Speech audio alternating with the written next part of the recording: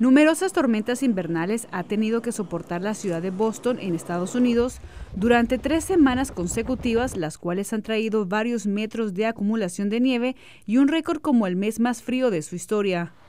Este ha sido el panorama no solo para la capital de Massachusetts, sino también para varias ciudades en el noreste de Estados Unidos. Durante el fin de semana, cerca de 1.800 vuelos fueron cancelados en los aeropuertos de Boston y Nueva York debido a las fuertes ráfagas de viento que alcanzaron una velocidad de 97 kilómetros por hora, con una sensación térmica de menos 29 grados centígrados.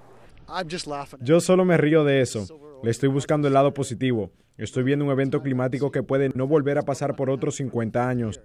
Mientras la región continúa excavando para liberar a sus atrapados autos y buzones de correo, el gobernador de la ciudad se apresura a dar nuevas indicaciones, pues otra tormenta se avecina. Esta será nuestra cuarta gran tormenta en las últimas tres semanas.